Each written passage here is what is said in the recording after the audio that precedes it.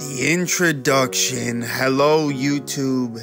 Let's get into this fire video today. I will be explaining to you guys how to pass the rock today, how to get your teammates in easy spots, how to thread the needle to your teammates, and this will be a pretty simple video and explanation on how to do this. But I'm excited to share with you guys this type of pass that doesn't come to mind right away that you should definitely use.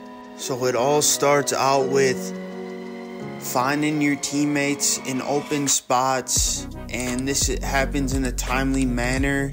You want to be able to pass pass to them when they're open, but this specifically threads, like I said, threads the needle and hits your teammate in the right right where you want him to be. This type of pass allows you to lead your teammate into what he wants to do. And from there, it's all up to him. It's his decision making.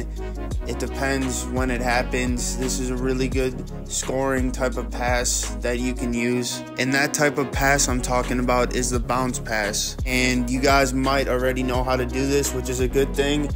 But if you don't, um, I'm just gonna let you know that all you do is press the button B on your controller or uh, circle if you're playing on PlayStation.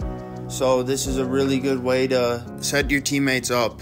Also wanted to say that you might have to move the left stick in the direction where you're passing, which you guys know I'm sure, or hit the right icon on when you're passing it. So yeah, like I was saying, just be timely with this.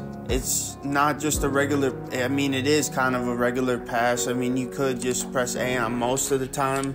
You could just press a and pass it normal. But bounce passes kind of makes it a little bit cooler and it's a really good way to outside the box and use your teammate in a way that it is it's a little different. So yeah put this one in in the back of your head, put it in the back of your Duffy. You're gonna wanna be able to do this. So, um, just it's a way to get better. It's a way to learn and explore the game more. Uh, that's it for this quick little video. If you could, please hit that subscribe button, and I appreciate all you that watch the entire thing.